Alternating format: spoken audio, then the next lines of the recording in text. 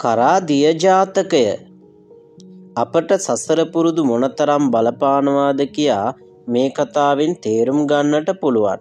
නරක පුරුද්දක් සසරට ඇබ්බැහි වෙලා තිබුණොත් මේ ආත්මෙත් ඒකම කරනවා. ඒ කාලේ අපගේ භාග්‍යවතුන් වහන්සේ සැවැත්නුවර ජේතවනාරාමේ වැඩ සිටිය. ඒ ජේතවනාරාමේ එක්තරා භික්ෂුවක් හිටියා ඒ වැඩිහිට්ටි භික්‍ෂූන්ගෙන් කිසිම අවවාදයක් මේ භික්‍ෂුව පිළිගන්නේ නෑ හරිහිතුවක්කාරයයි. දැඩි ගුරුවරකුගේ වචනයකට නැමෙන්නේ නෑ තමන් හිතටගත් තීරණේම ඉන්නවා. ඉතින් භික්‍ෂූන් වහන්සේලා මේ ගැන භාග්‍යවතුන් වහන්සේට පැමිණිලි කළා. භාග්‍යවතුන් වහන්සේ ඒ භික්‍ෂුව කැඳෙව්වා. හැබෑද භික්‍ෂුව ආචාර උපාධ්‍ය කිසිවෙකුගේ අවවාදයක් පිළිගන්නේ නෑ කියන්න. එහෙමයි භාග්‍යවතුන් වහන්සේ ඇත්ත. භික්‍ෂුව ඔබ පෙර ආත්මේත් එහෙමමයි. නුවනැත්තන්ගේ අවවාද නොගැනීම නිසා උගුලට අහුවෙලා මැරිලගිය. තොකොට ඒ භික්‍ෂූන් වහන්සේලා අතීත කතාව කියා දෙන්ට කියා භාග්‍යවතුන් වහන්සේගෙන් ඉල්ලා සිටිය. භාග්‍යවතුන් වහන්සේ මේ විදියට අතීත කතාව පැහැදිලි කළා මහනෙනි. අතීත කාලයක බරණැස්පුරේ බ්‍රහ්මදත්ත නමින් රජකු රාජ්‍ය කරන කාලේ බෝධිසත්වය වූ මා මුවෙක් වෙලා ඉපදිලා හිටිය.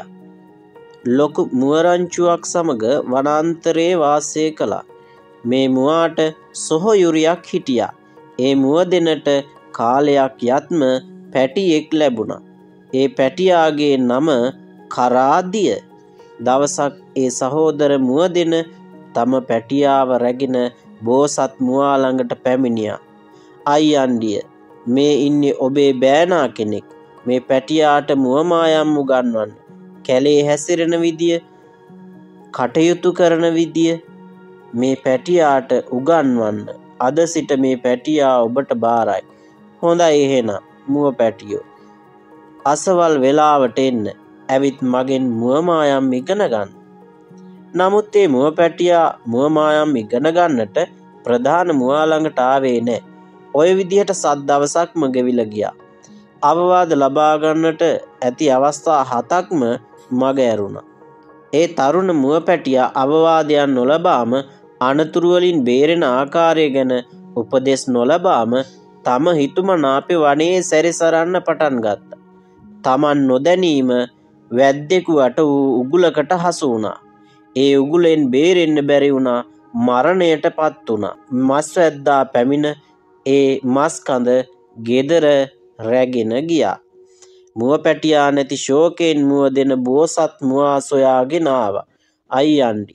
ඔබේ බෑනා වූ මුවාට මුවමායම් උගන්නලා නේද තිබුණේ නෑ ඒ මුවාට අවවාද වලින් වැඩක් නෑ මං ළඟට එන්න කියද්දි මුවමායම් ඉගෙන ගන්නාවේ නෑ අවවාද පිළිගත්තේ නැති කෙනා ගැන හිතල වැඩක් නෑ ඔය විදිහ අකීකර මුවෙකුට මුවමායම් උගන්නන්න මන් මහන්සි වෙන්නේ නෑ මුවා අවවාද උපදෙස් ලබාගන්න පොඩ්ඩක්වත් උනන්දුවක් ඇති බවක් පෙන්නුවවත් නෑ.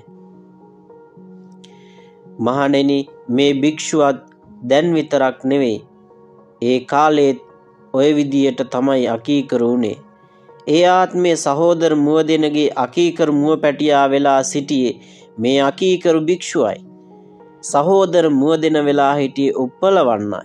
අවවාදන ප්‍රධාන මුවා වෙලා හිටියේ මහා බෝසත් වූ ඒ මම යැයි පැහැදිලි කරන්නට යෙදුනා. වැඩිහිටියන්ගේ ගුරුවරුන්ගේ ආචාරපාදයන්ගේ අවවාදයට ඇහුන්කම් දීම කියන්න ඉතා වටිනා ගුණයක්.